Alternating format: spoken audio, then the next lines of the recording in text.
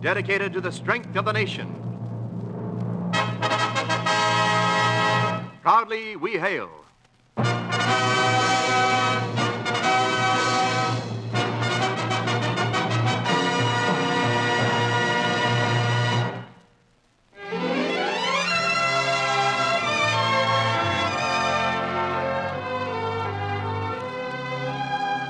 Yes, Proudly We Hail, starring Turhan Bey in The Magnificent Rogue, United States Army and United States Air Force presentation.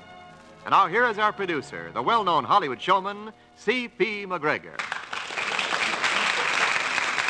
Thank you, thank you, and greetings from Hollywood, ladies and gentlemen.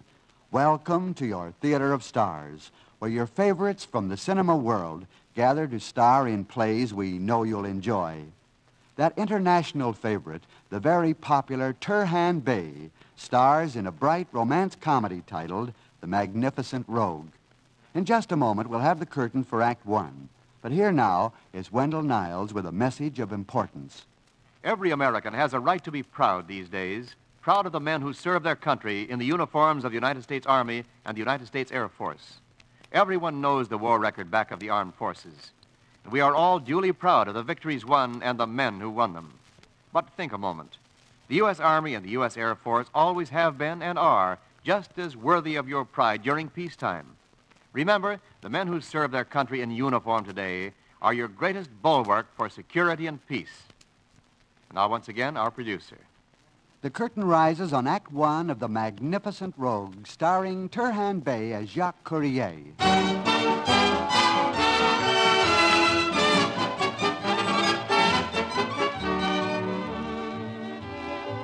It all happened somewhere in the vicinity of Avenue Montpellier, Paris, where dwelled in various stages of limited circumstances the struggling artists and musicians who made Paris their Mecca. By day, they worked at odd jobs to pay the rent and to keep a loaf of bread and a bottle of wine in their cupboard. By night, they studied, or, weather permitting, strolled with a lover in the Tuileries Gardens. On the evening our story begins, the music of a violin is heard coming from the apartment of Jacques Courier, a handsome young new arrival at Montpellier. Across the street below, a door opens at the sound of the violin. A lovely blonde girl listens entranced.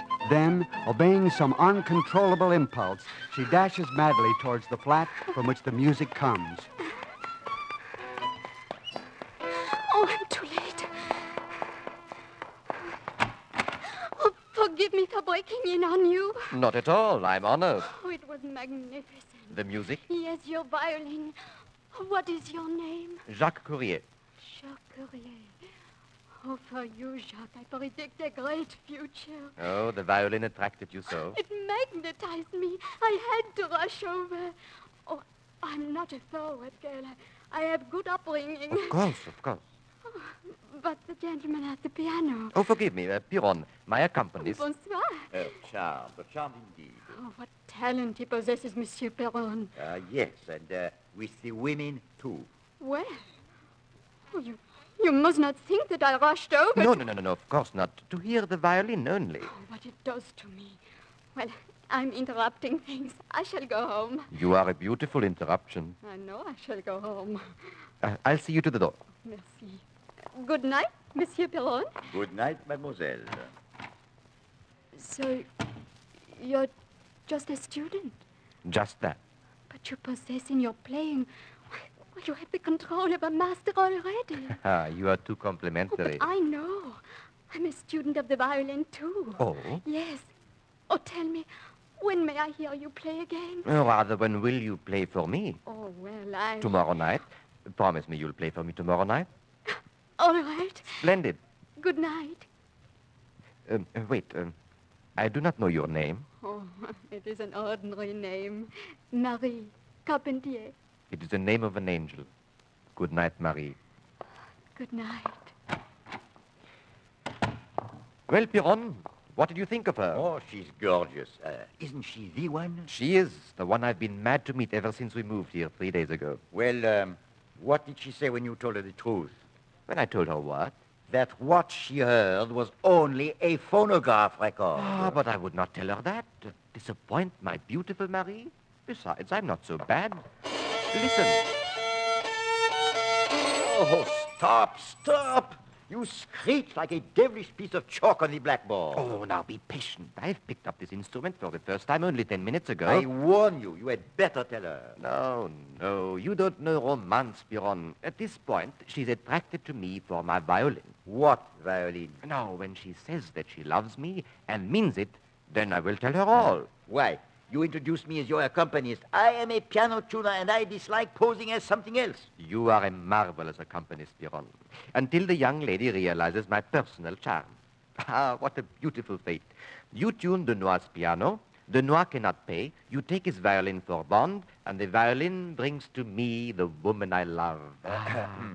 Jacques, uh, the stranger was there again. oh, the one with the mustache? Yes, he is most anxious to see you. Well, I'm not anxious to see him. If he comes tomorrow while you are here, tweak his mustache, put your foot to the seat of his pants, and say, be off with you. Tell him I'm, I'm too busy these days, uh, uh, that I am in love, that I am winning a wife. Wait until she finds out what you do to gain your bread and wine. Oh, she will understand. Not to mention what she will do when she finds out you are unable to even run a scale on the violin. I will manage by having a good supply of phonograph records. Yours will still be the fate of an impostor. Oh, what a lovely fate then, Piron. Commencing tomorrow. She happens to be a student of violin. I have consented for her to play for me tomorrow night. You have consented to let her play for you? Mon Dieu, this is the end. Oh, my Marie, I can hardly wait.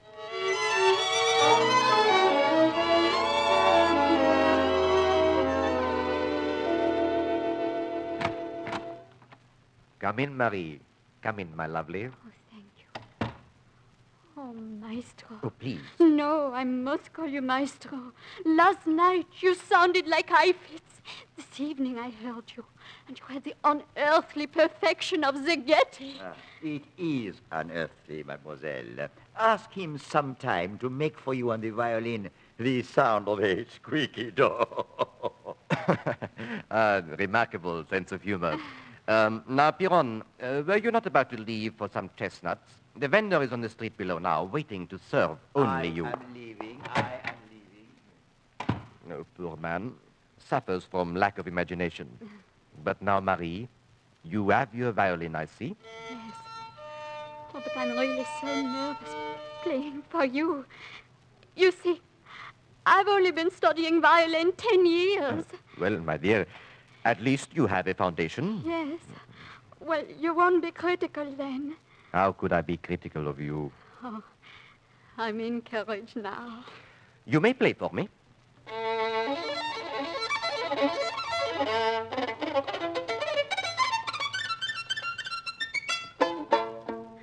Well, what do you think? Remarkable. My tone? Your eyes. Oh, but my music. Oh, oh, that. Marie, my lovely one. Yes? You have Yes, yes. a considerable degree of talent. Oh, oh, I'm so pleased. Oh, you have no idea what that means coming from you. Oh, how can I thank you? Why, you can take my arm and join me for a stroll if you would. I would.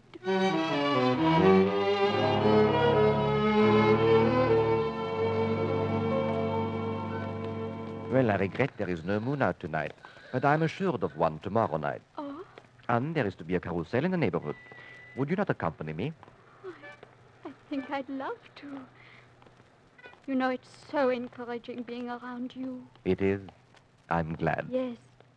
You see, Madame Francois Cartier discourages me with my violin. And who is Madame Francois Cartier? My advisor.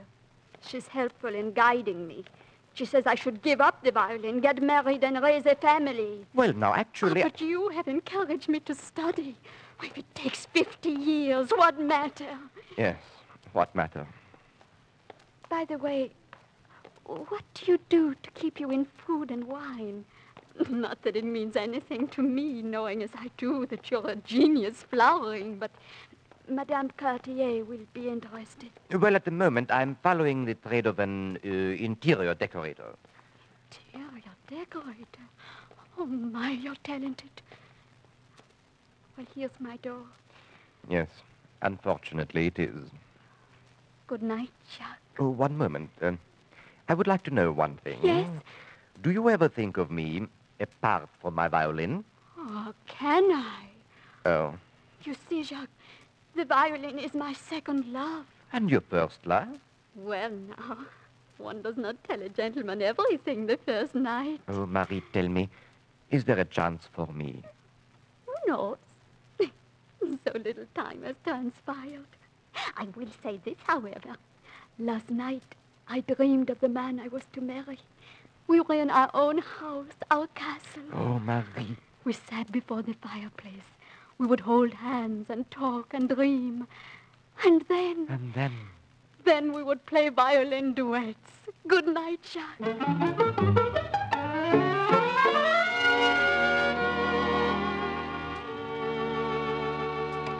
Ah, you're back. Oh, what a mad world, Piron. The woman I crave to be my wife must play violin duets. I said you were headed for trouble. I will find the answer. Uh, was there anyone here? Hmm, little man with a mustache. I did as instructed. Well, if the man has a bill, pay him. With what? Everything we have is spent for phonograph records. Then ignore him. But you, my fraudulent friend, what are you going to do in your dilemma? Very simple. Tomorrow I become a student of the violin. During my lunch hour, I find an instructor.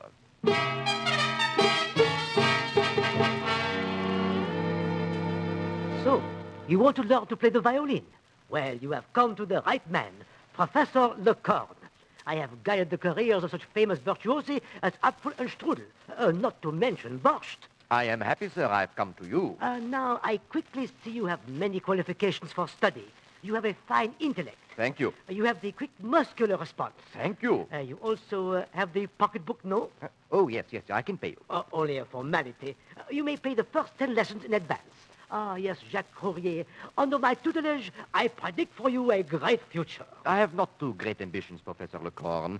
I wish merely to play second fiddle, to add a few notes here and there with a degree of authenticity. A few notes, Bosh. I will have you amazed at your technique in no time at all. Monsieur Lecorne, if you can accomplish this, you will have the undying gratitude of a man in love.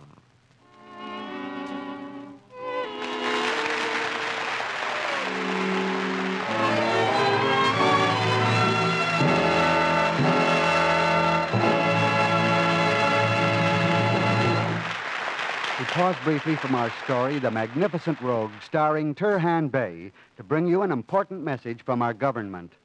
Doctors of America, here is a problem that is of vital importance to you. A shortage of physicians, surgeons, and dentists is developing in the armed forces of our country. Doctors, dentists, and allied medical scientists are needed. You can help alleviate this shortage, help maintain the health of our men and women in uniform by serving a tour of active duty in the Army. The Army's extensive facilities for research and modern equipment will be at your disposal. You will have the benefit of techniques developed through years of practice and experimentation. When you put on the uniform as a medical officer in the U.S. Army, you'll be commissioned in a grade commensurate with your age and experience. In addition to your regular pay, you'll receive an additional $100 a month professional pay. Write today to the Surgeon General, U.S. Army, Washington 25, D.C., and request a tour of active duty.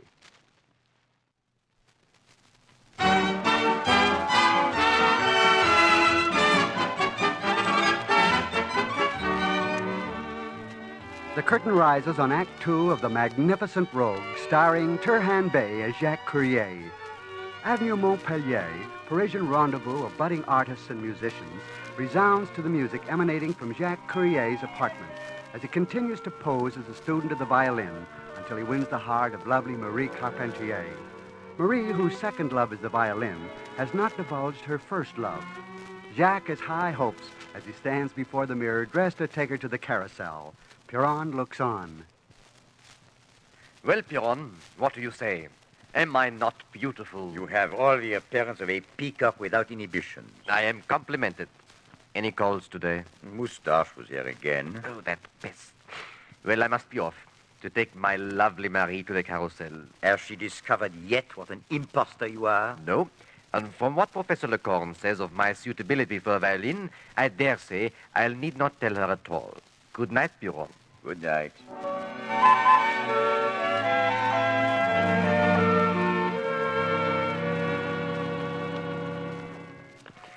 Here we are. A place reserved for us. Isn't that nice? Ah, yes. Well, did I not promise you a full moon? You did. And there it is. Yes. Oh, if I could only express to you how lovely you are by moonlight. Oh, Jacques. You, you do care for me a little? Yes, Jacques. A little or very much? Very much, Jacques. Oh, Marie, my angel. I have never asked this of any woman before. Yes, Jacques. I want you to marry me. Will you be my wife? I will be your wife. Kiss me. My wife to be. Oh, I must tell my advisor, Madame Cartier. Oh, Jacques, think of our future together. At this moment, I'm unable to think. Oh, when I think of our future, I hear only music, the music of a violin. Uh, you mean an occasional duet at home, together? Oh, no, I mean you and the concert stage and the world at your feet. But why are you so quiet? My dear, I was just thinking how our whole life's responsibility rests upon the shoulders of a certain Professor Lecour.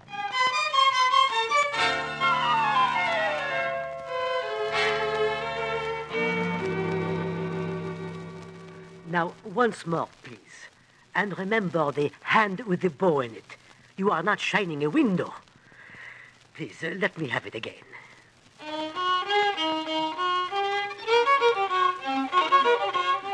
No, no, no!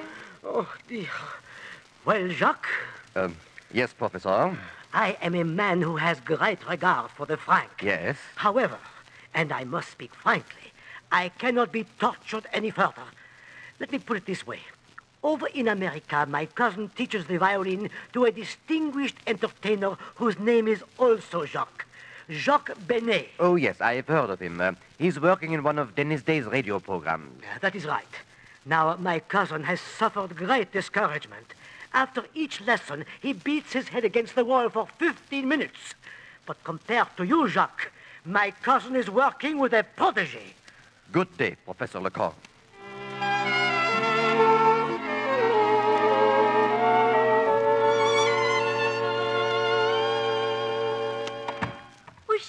Marie, what are you doing here? I'm waiting for you, darling. I. I spoke to Madame Cartier. I told her about us. She's such a hard person to please. Well, how did she respond? I told her you were an interior decorator now while you study. Oh, did that please her? Well, she's a difficult person. Dislikes all musicians. Measures everything by the franc. Well, if she dislikes musicians so, I would give up the violin. Don't you know, never. But I have a plan. You will play for her. Oh, oh, no. Uh, no, you know how I'm about playing. Please. When Madame Cartier would hear you, then she would know how famous you will be. No, no, no, no. I'm not playing for anyone. Uh, furthermore, strange places distract me. But then she will come here. Oh, but I. Oh, you must, Jacques, for me, for us. Oh, kiss me, Jacques, and say you will. What evening, Jacques? I suppose. uh, Friday? Why not? One day is as good as the next.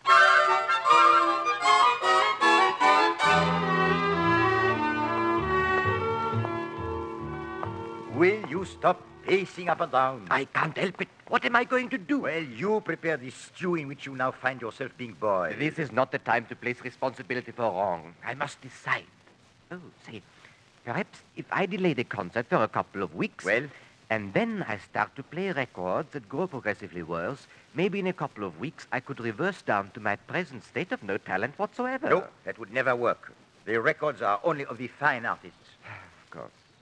Well, we will go through with it. Are you out of your mind? No, no, it can be done. And here's how. We will conceal the speaker. The uh, playback speaker? Yes, and I know precisely the number I will play. The Nachtwind, the night wind. For this number, we can have the lights down very low. You are insane. No, no, no, no. You are at the piano. The playback arm next to the bench. Your signal will be, well, uh, vive la bagatelle. Yes, yes, vive la bagatelle. You put the playing arm down on the record. But if something should slip up, Things never slip up, Piron. Now, you will get for me that record, The Nachtwind, played by Swinton Johns, the Swedish violinist. Ha ha ha. We will entertain Madame Cartier. Yes, indeed.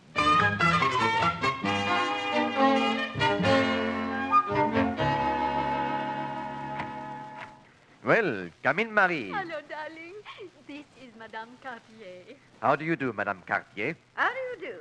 My, this is a peanut shell you live in, isn't it? Well, the apartments are all small here in Montpellier, but the hearts are large. Isn't it wonderful, Madame Cartier? I don't know.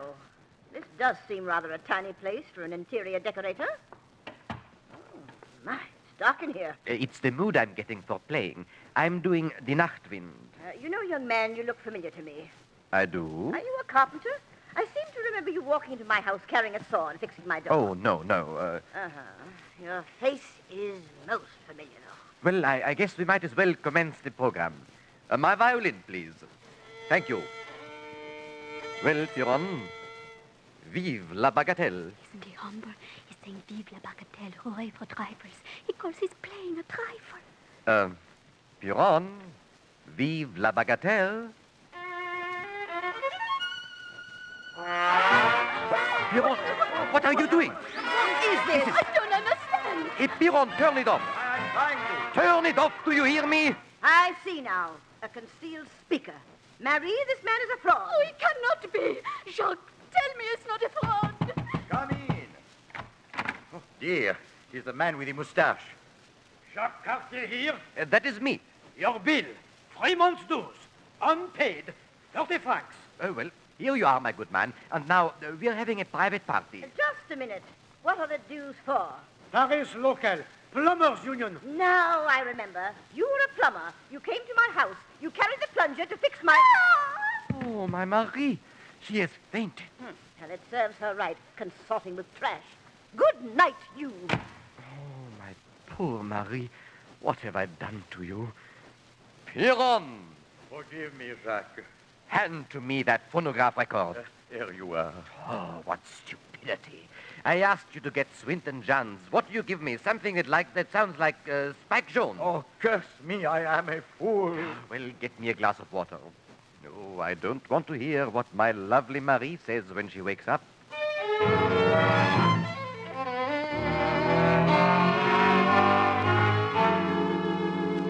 Oh, you blackguard. Oh, you deceived me. Uh, there, now drink some more water. I'm full of water as the ocean already. Oh, how could you? First, you do not even play the violin. I could not tell you because of my love for you. And then you tell me you're an interior decorator. Well, I am. I decorate interiors with faucets. Ah, oh, it's not funny. I hate myself for even associating with someone who has no talent whatsoever. No talent, you say? Is it not true? I will show you if it is true. Here, from the cupboard, some paper. Now the charcoal. Now I will draw your likeness. You, you're an artist? A magnificent artist. What do you think I do here in Montpellier? There. The contour of your face. The beautiful oval. Now your hair. Like the whisper of angels. Your eyes. The beauty of deep lakes. Oh, Your nose. The majesty of gods. oh, sure. And your lips. So soft and lovely. There. Jacques. Oh, it's brilliant. Is that a man with no talent whatsoever? You have the line of Matisse, the composition of Picasso. I can see it. You did draw this, didn't you? Of course. But you know art. Yes, Jacques. Art is my first love. Your first love. Oh, Jacques, I can see it now. Your drawings on exhibition, the world at your feet. But I thought I am your first oh, love. Oh, No, no, no. Oh, but it is all right. So long as I'm always the first you adore. And how could you help but adore me? I am so magnificent.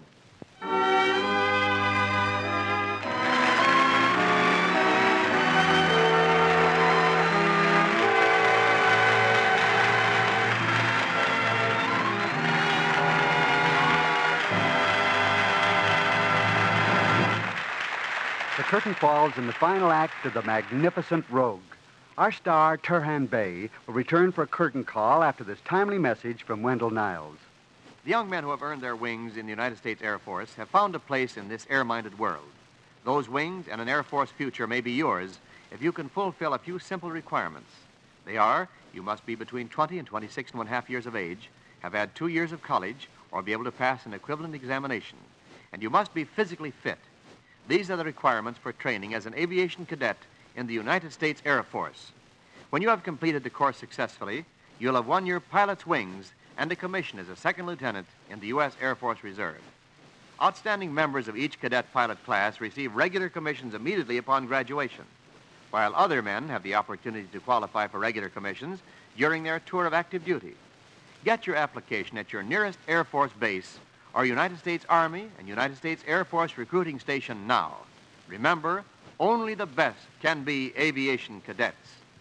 Now, once again at the microphone, our star, Turhan Bey, and our producer. Turhan, come out and take a bow for a grand performance. But don't bring your violin. Why, CP, that was a $20,000 Guarnerius. Didn't you like it? The violin, yes. The playing, no. Oh, but I'm inspired to become one day a great artist. Suppose you stick to a hobby in which you are great photography. Oh, photography, yes. But I want an art in which I can make a great amount of money. You won't make it in playing the violin, believe me. Have you ever considered motion pictures? Oh, but that's my business, CP. And how's business? Very good. Columbia has just released my latest picture, Song of India. I've become a very modern Maharaja in a very modern India. No violin, of course. Then we'll all go and see it. And by the way, I understand you made some excellent photographs in India while you were there. And in Turkey and in Tibet. But my best pictures were made right here in Southern California during the big snow last January. We got some fine color shots at the ranch with the snow and the orange trees around the house. They'll make good Christmas cards, CP. That's what we wanted them for. We even made some pictures of the large snowflakes just to prove they're as big as silver dollars. Oh, well, that's California for you. Even the snowflakes had to be the biggest. you know, it's a good thing we got the pictures when we did. We may never get another chance. I hope. that's right. It will probably never snow again out here. Of course not. Well, Turhan, I want to thank you for joining us again. Thank you for the invitation. I enjoyed it. And now I think I'll run along and practice my violin. but um, tell me first who's going to be with you next week. Next week, Turhan and ladies and gentlemen, we present one of the greatest dramatic portrayals and stories of the season. Zachary Scott joins us to star in a historical play based upon the interesting life story of Henry Wilson and the establishment of the Congressional Medal of Honor. Here is a documentary play of interest to everyone. That sounds like a very good story. I'll be listening. Goodbye, CP. Goodbye, Turhan Bey. Be sure to join us next week, ladies and gentlemen, when we bring you Zachary Scott in Above Their Comrades. Until then, thanks for listening, and cheerio from Hollywood. Turhan Bey appeared through the courtesy of the Hollywood Coordinating Committee, which arranges for the appearance of all stars on this program. Script was by Rich Hall with music under the direction of Eddie Scribanic. This program is transcribed in Hollywood for release at this time. Wendell Niles speaking.